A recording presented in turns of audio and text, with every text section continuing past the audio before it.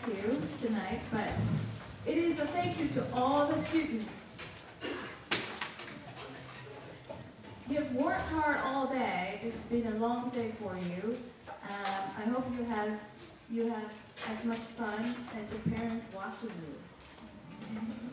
And thank you for parents continue to support your children's music education. I would like to ask all the parents kindly to wait in the theater or in the theater foyer for your child. All instruments must be stored away in the room. Um, the room needs to be cleaned as well before the before you depart for the weekend. Thank you for your patience. Now, the exciting part of our finale is having our newest family, string family. They're all standing in the back.